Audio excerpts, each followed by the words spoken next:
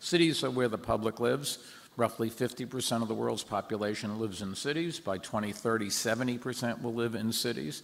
And I think it's also fair to say that generally federal, national governments have not done anywhere near as much as cities have done. Uh, mayors are responsible to the public. The public can get to them. The press follows what the mayors do.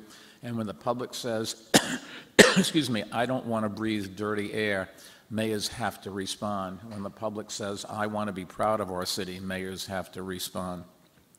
And uh, those of us that are lucky to have been or are mayors really have an enormous opportunity to make a difference in people's lives and perhaps save the planet.